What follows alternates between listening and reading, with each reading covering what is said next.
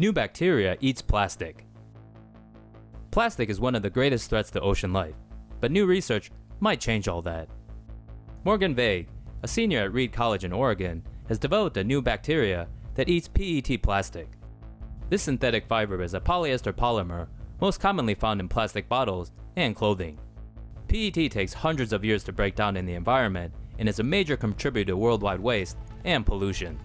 According to the Oregonian, Vague took soil, sand, and water samples polluted with petroleum from Galveston Bay in Texas. From these, she narrowed down the microbes that produce the highest amount of plastic dissolving chemicals. Next, she left three with nothing but plastic to feed on. She later found that the three types of microbes had consumed all of the plastic. Two of the bacteria are known, but the third is a new bacteria discovered by Vague. She's calling it Pseudomonas morganensis. Speaking to the Oregonian, Vague's biology professor described the discovery as a watershed moment.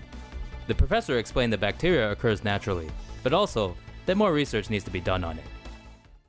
It's everywhere. We are becoming planet plastic. A new study has revealed the amount of all the plastic that has ever been made in the entire world for the first time, and that number is shocking. It's estimated that 8.3 billion tons of plastic was produced between 1950 to 2015, and that amount is the equivalent to the weight of 25,000 Empire State Buildings.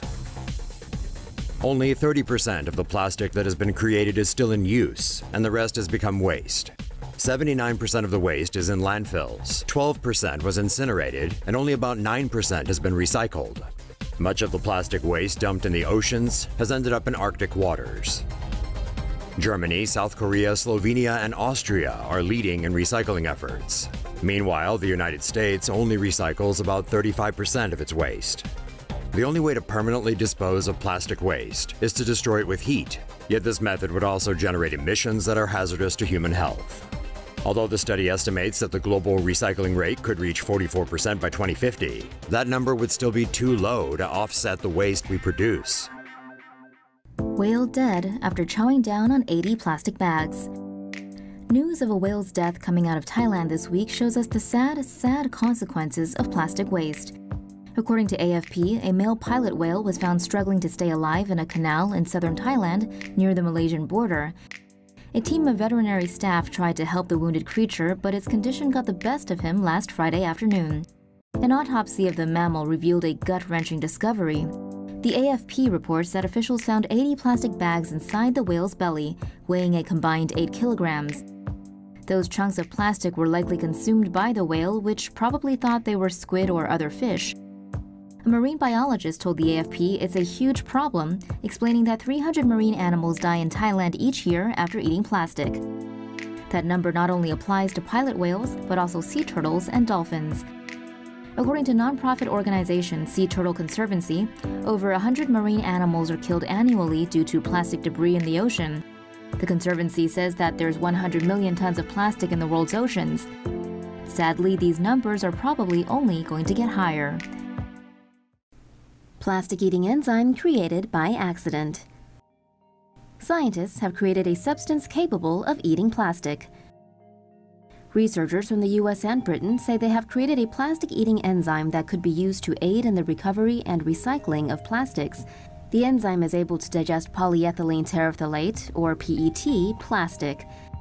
PET plastics take hundreds of years to break down and have become an enormous source of global pollution on land and in the oceans.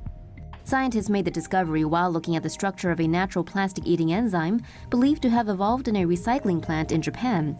Researchers added some amino acids to the enzyme, which ended up speeding up its plastic-eating capabilities. The team will now work on improving the enzyme to see if it's capable of breaking down PET plastics on an industrial scale. Hey, it beats throwing plastic in the incinerator. Is it really the final straw for plastic? Take that straw out of your mouth.